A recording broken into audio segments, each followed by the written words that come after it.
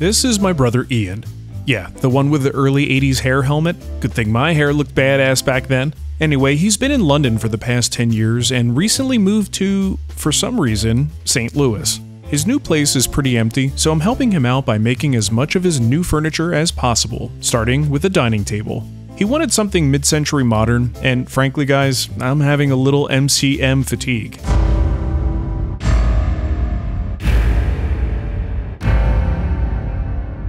So I'm going to try to design something that makes him happy while also sneaking in some subtle curves to make me happy. Don't worry, be happy now. To work out some of the angles, I find SketchUp indispensable. I can quickly play with various angles and dimensions and at least get close to something that I think looks good. By the way, if you want to get good at SketchUp, be sure to check out our Intro to SketchUp course over at the Wood Whisperer Guild. I'll put a link in the description for you. Once I have a general idea of where I'm going, I head to the shop and make a full-size drawing. SketchUp is fantastic, but at least the way that my brain works, I still sometimes need to see a full-size representation before making any final decisions. Ah! Now, let's talk about the tiny hairy black elephant in the room. I've never had a shop cat before. I don't know if they're all like this, but I feel like mine might be broken. If there's somewhere I can go to have him repaired, please let me know. Anyway, I made several iterations, playing with the angles, curves, and different shapes of the aprons and the rails. I also did something I almost never have the opportunity to do. I made a prototype. Feeling pretty confident in the design direction, I went to grab some of that sweet Jouesse walnut. Would you like some uh, jouets? Look at that beefy boy. Hubba hubba hubba. So first up, I'll make the legs. I transferred the measurements to a piece of quarter inch ply and used the track saw to cut out a handy little template. To get the most attractive legs possible, I'm highlighting the grain lines and using those for reference when deciding on the template's position. Ideally, I'll be able to get all four legs from the same board, for color and grain continuity. On another board, I'll lay out the various rails. And now for some jigsaw action. This might be one of the dumbest sequences I've ever done. When I have parts laid out on large boards like this, I prefer to use a jigsaw to break things down into smaller, more manageable parts before heading to the bandsaw.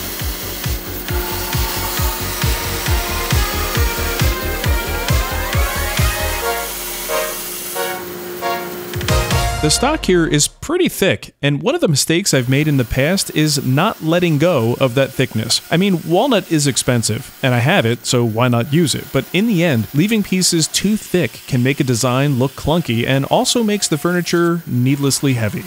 So I'm resawing the boards down to a more visually appropriate thickness for the scale of the piece. I can reserve the thin slices for another project in the future. The rails get the same treatment.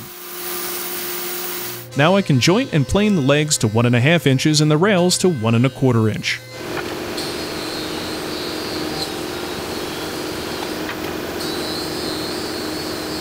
Next, I'll use the template to trace out the leg shape. To help me see the line easily, I'm using a white pencil. You don't need this specific mechanical pencil as the white lead will fit any 0.9mm pencil, but when your writing utensil drawer looks like this, it's always nice having one that stands out from the rest. I'll put links in the description for this stuff if you're interested. Now I'll cut the legs to shape, staying just outside of the pencil line.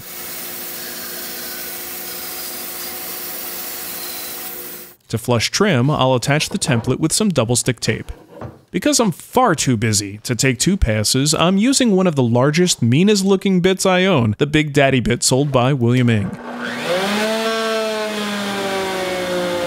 As daunting as it is, you can do some amazing things with it, and if you're good at keeping the work against the bearing, you can even safely route to the end grain like this. The top side rails are then cut to 15 degrees at each end.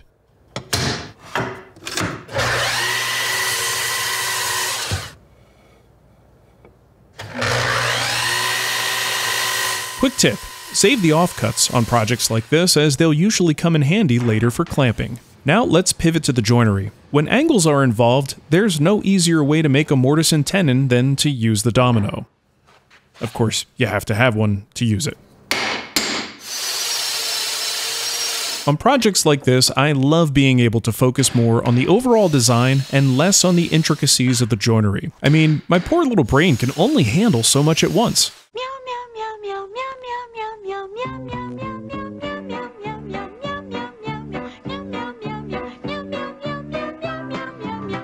With the joinery dry fit, I'll bring the legs and the top rail together with a clamp using those offcut pieces I mentioned before as angled cauls. I'll now locate and fit the bottom rail. Here, I just sneak up on the fit that leads to the rail being in the exact location I want it to be.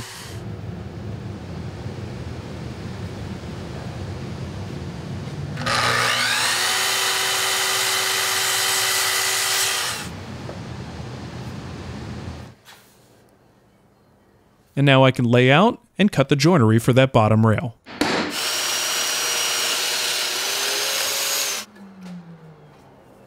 And yet, another dry assembly. We're going to do a lot of those.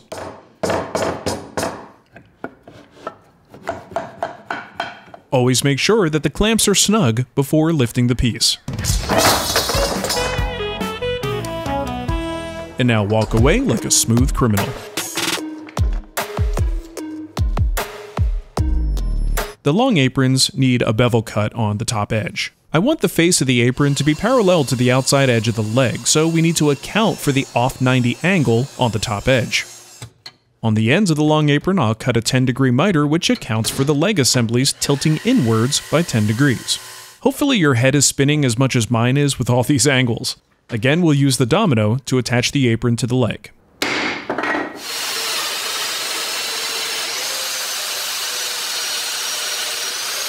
Another quick dry assembly, and I can now measure for the stretcher. This is actually a pretty important part of the structure, and it'll add a lot of strength to the base. There's too many variables at play, so the only way that I can get this right is to sneak up on it. I also might need to fudge the bevel angle a bit just to close any gaps. Because the stretcher is likely to push the leg assemblies apart during test fits, I drop a clamp on top and just snug it up to the point that it resists the forces that the stretcher might apply. Once I have the perfect fit, I can lay out for the dominoes.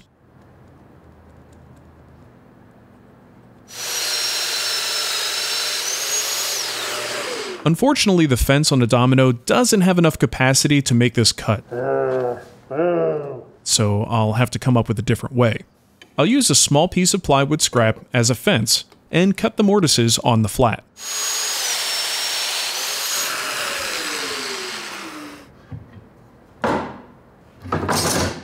With the base upside down, I can make some marks at the top of the legs for a cut that we're going to make later. These lines will just protect me from making a dumb mistake. I can also make some marks for the other details that I'd like to add to the stretcher and the rails. After I disassemble, I'll carefully label my parts so that I know where everything goes. Things are now in committed positions, so it's important to keep everything organized for the final glue up. To save time and stress, I'm going to pre-glue the tenons into the rails. I let the glue set up a bit before removing the excess with a chisel. I can now cut bevels on both edges of the stretcher just because I think it looks cool.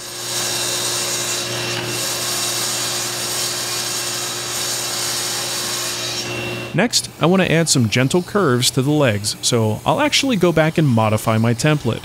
It's not a lot of curvature, just, just a little taste.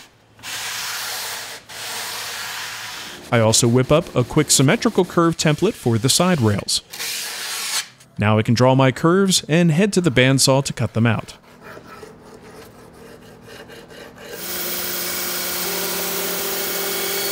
And once again, I'll use the router bit of death to flush trim. So I almost pushed this piece into the bit upside down. That would have been decidedly no bueno.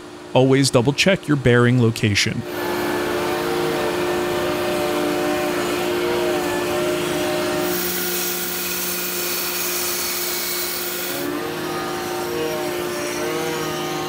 Now all the parts get a nice little round over on the edges. Of course I take care to avoid the sections where another piece will connect.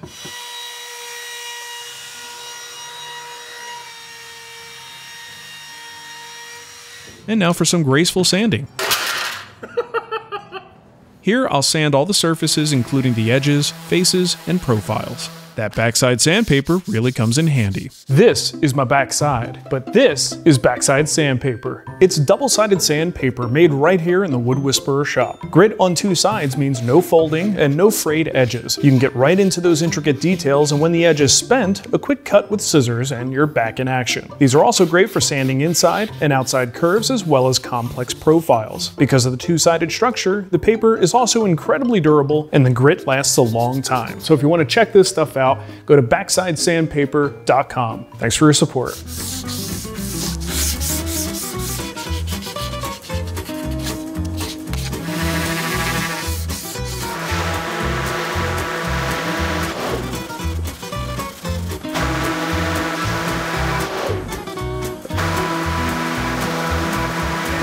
Okay, let's assemble for realsies this time. Fortunately, as long as we don't mix up our parts, the glue up should be pretty uneventful.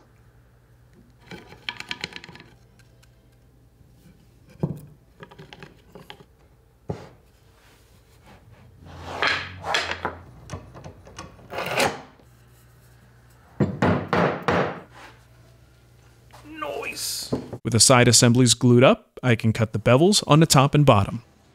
Remember the marks that I made when the base was upside down? Those will remind me of the bevel direction on each side assembly. These bevels allow the side assembly to sit at the appropriate angle. track saw for the win on this one.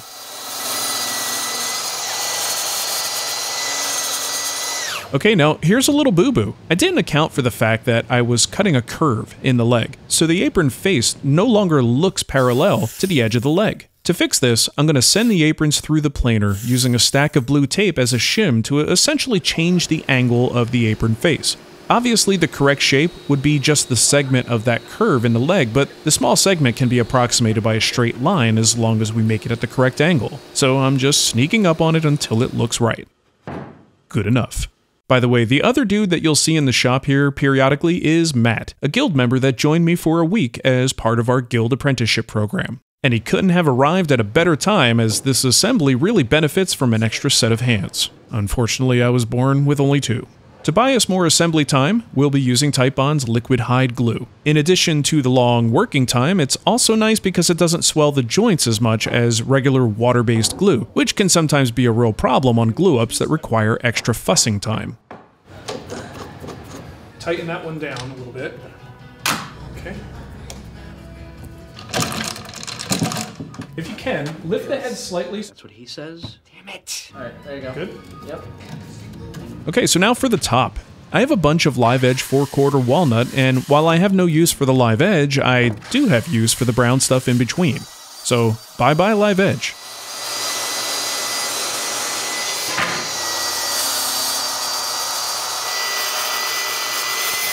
Because the boards are already at the thickness that I want, I'm not going to do any planing. And honestly, they're not perfectly flat. So I'm going to do something that I don't love doing, and that's simply joint the edges and hope for the best.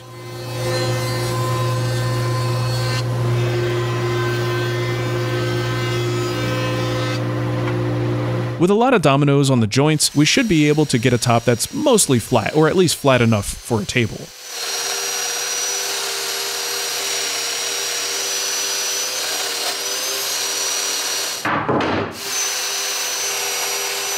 I have a full video focused on making big panels that stay flat the proper way, so if you want to dig into that, go check out that link in the description.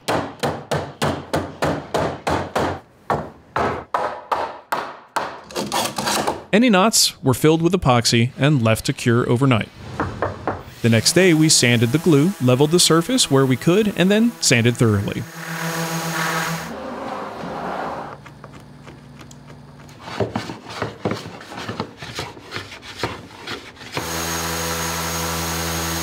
The top was then trimmed to final dimension with the track saw.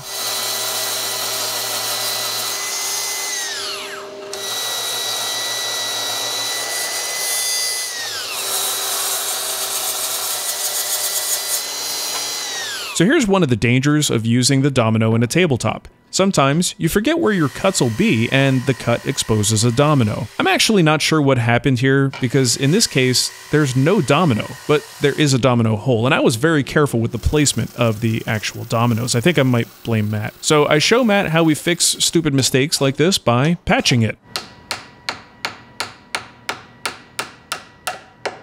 We decided to add some jazz to the top in the form of gentle curves, and funny enough, those curves ended up completely cutting away the repair that I did, so yay, I guess?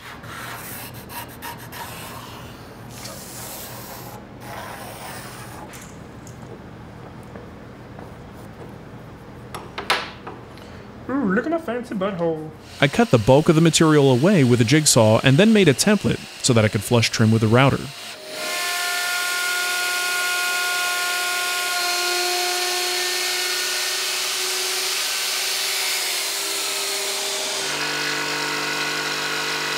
For the long edge, I made a half template, which allows me to not only have a shorter template, but ensures that the curve will be symmetrical.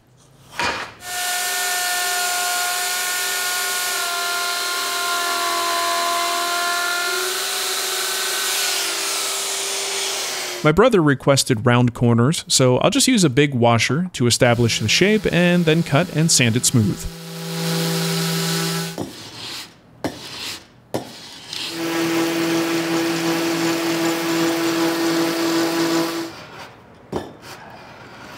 The rest of the edges will also be sanded through the grits.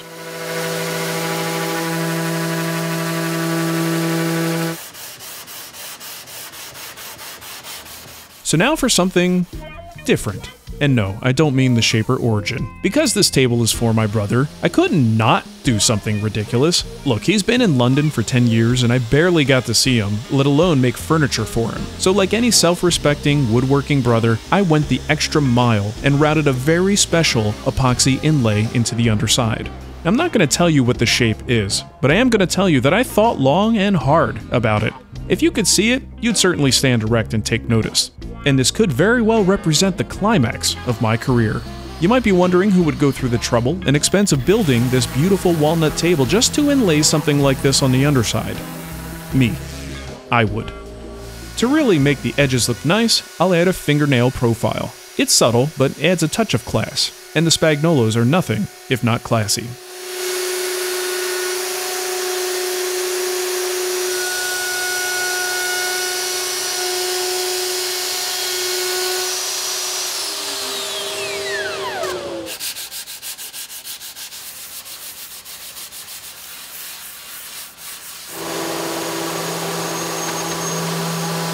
The top gets a nice little edge round over to finish it off, and then a final sanding. For the finish, I'm using some catalyzed lacquer. The top and the base will receive about three coats. I don't spray lacquer much anymore, but it's hard to argue with the efficiency of the spraying process. On a warm day, you can easily apply three to four coats.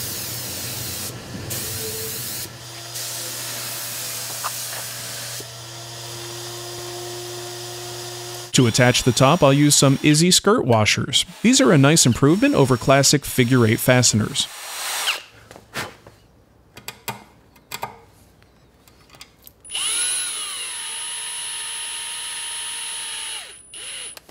We'll center the base on the top and then attach it with screws.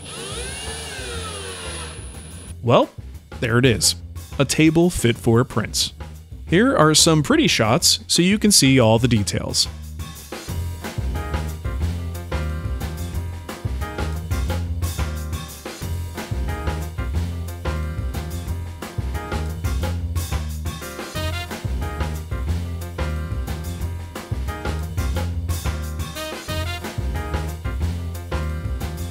After the table had a few days to cure, we delivered it to my brother, Give it a hard turn. Give it a hard turn. It's helpful. I'm gonna go upstairs.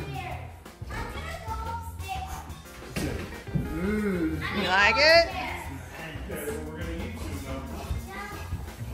and had a nice family dinner. Vodka rigatoni, if you want to know.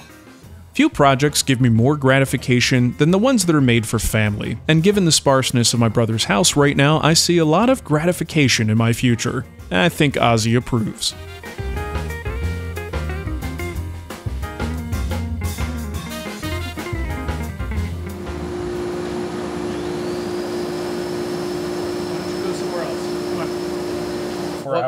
What hours. color is this wiener? I've got some white stuff and almost like a white glitter type material, that, and I think it'll look pretty sweet on a oh, dark wood. Beautiful, yeah. It's gonna be a beautiful wiener.